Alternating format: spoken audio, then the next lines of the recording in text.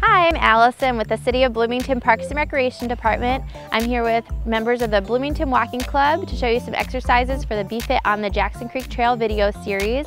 You can find the QR codes along the Jackson Creek Trail located on the poles. You can scan them with your phone and they will lead you to videos of exercises throughout the trail. At this station, we're going to be showing you a quadricep stretch. So this is a balance move that also stretches the front parts of our legs. So we're gonna reach one hand back, grabbing onto either the shoelaces, back of your shoe, your pant leg, or just above your ankle. And you're gonna keep your knee under your hip as you hold here, making sure that you're not going out to the side. And from here, uh, you can hold for as long as you'd like to, feeling that nice stretch through your hip flexor and your quadriceps. Uh, if you lose your balance and you come out of it, you can always come right back in. If you need extra balance support along the Jackson Creek Trail are great poles that you can use for balance support. And uh, when you're ready, you can switch sides.